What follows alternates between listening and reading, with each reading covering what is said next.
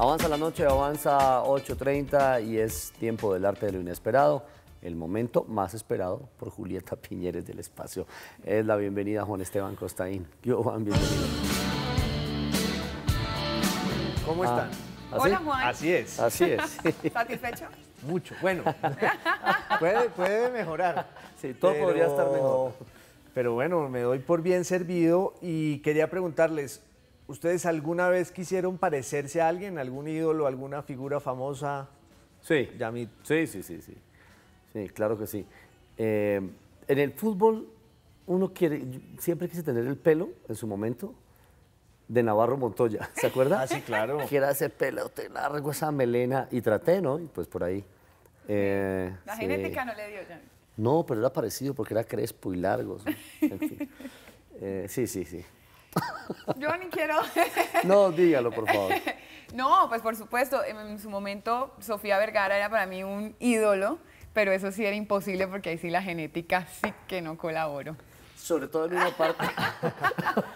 Pues eh, es que es- estoy todavía conmocionado eh, con una noticia que leí hace muy poco de un personaje que vamos a ver eh, aquí en, eh, en la pantalla. Se llama Jordan James Parkey. Es un inglés que ustedes lo pueden ver ahí que ha gastado más de 200 mil libras esterlinas en cirugías plásticas para parecerse a Kim Kardashian. Y hace parte de un elenco nutridísimo que hay en el mundo de gente que gasta la plata que tiene y lo peor, la que no tiene, para parecerse a sus ídolos. Por cuenta de la noticia de este personaje, llegué a casos verdaderamente aterradores como el de una señora que ya ha gastado casi un millón de dólares para parecerse al finado Michael Jackson. Eh, otros que han hecho cirugías para parecerse a Jennifer Aniston.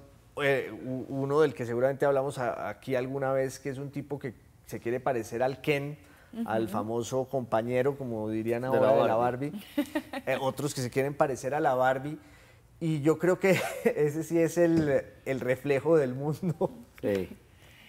No, pero además Es que es buenísimo. Es que es, que la gente está poniendo en riesgo su salud porque este personaje está a punto de perder la movilidad de su cara de la cantidad de botox, cirugías e implantes que tiene. está poniendo en riesgo la salud sobre todo de los demás. Eh, exactamente, eso es lo grave, porque ellos pueden hacer con su cuerpo lo, Lo que, que quieran. quieran, Y esa es la reflexión que surge de aquí. Pero también están produciendo un, es- un- un impacto estético y sociológico y antropológico casi en el mundo que nos lleva a cuestionar algo que hemos cuestionado aquí muchas veces y es que por cuenta de la fama eh, es como si la especie humana se estuviera vaciando radicalmente del talento. Porque es que antes para conquistar la fama, que Shakespeare decía que era como una burbuja de jabón o que era como una burbuja que se estallaba muy fácil, pero para, para, um, para conquistar la fama antes había que hacer algo, saber algo, por pequeño que fuera. Hoy parecería como si la ausencia de talento fuera el principal talento y el modelo de este pobre hombre, que es la señora Kardashian, es la prueba máxima de eso, porque, pues claro, tiene algunos atributos eh, incuestionables, pero más allá de allí no hay sino un afán por exhibir las miserias de la vida y eso produce riqueza y produce celebridad y produce como un afán desmesurado por la conquista de algo que se acaba cuando ocurre, ¿no? Como la burbuja. Como la burbuja. ¿Y usted? ¿Algún guitarrista por ahí pasó alguna cosa? Eh, Sí. sí, sí, sí, sí, pero es, es inconfesable. No, no, no. No, no, No se vale, todo lo hicimos. Sí, no, no, tiene que decirlo. No, pues a mí me habría encantado parecerme a Egidio Cuadrado, el, el acordeonista de Carlos Vives. Pero como dice Julieta, no, no me dio. no tenemos la culpa. Bueno, cuando, ojo, para terminar, Juan, cuando la reflexión debería ser que uno en la vida debería tratar de parecerse cada vez más a uno Exacto. y no a nadie más. Porque en el transcurso de la vida nos vamos separando de nosotros mismos. Pero eso tiene una paradoja, y es que Kim Kardashian se parece cada vez más a sí misma. Bien. Juan, muchas gracias. Bueno. Yamid Juan, es momento de hablar de arte aquí en 830 y con un artista, uno de los más importantes de todos los tiempos. Les voy a dar varias pistas. Estadounidense y tenía una manera única de hacer sus obras. Ponía el lienzo en el piso y dejaba caer la pintura con cierta fuerza y libremente también, de una manera que solo él lo podía hacer. Además de eso, si todavía tienen dudas, hizo una película, o hicieron una película, porque él no la pudo protagonizar, por supuesto, lo hizo Ed Harris en su momento, que narró toda su vida y ese proceso artístico tan fuerte que fue su vida. Sí, Jackson Pollock. Exacto. Eh, pero inevitablemente, además de la fuerza, de la forma como la pintura abrazaba el lienzo, era la mezcla de los colores y ese, no sé, que era había como un... Eh, un dolor adentro, una frustración mezclada, que sí lo hicieron indescriptible su trabajo, ¿verdad? Es que yo creo que artistas como Pollock ponen eh, en cuestión ese debate sobre qué es verdaderamente arte y qué no. Decía Duchamp que arte es todo lo que hace un artista.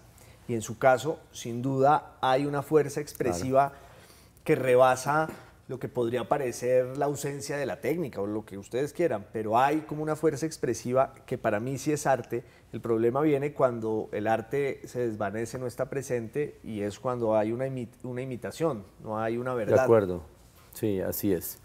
Pollock, aquí en 830.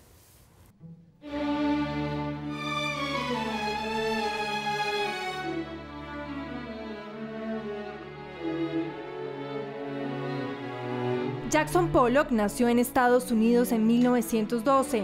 Vivió su infancia y adolescencia en Arizona y California. En 1929 se trasladó a Nueva York para estudiar pintura.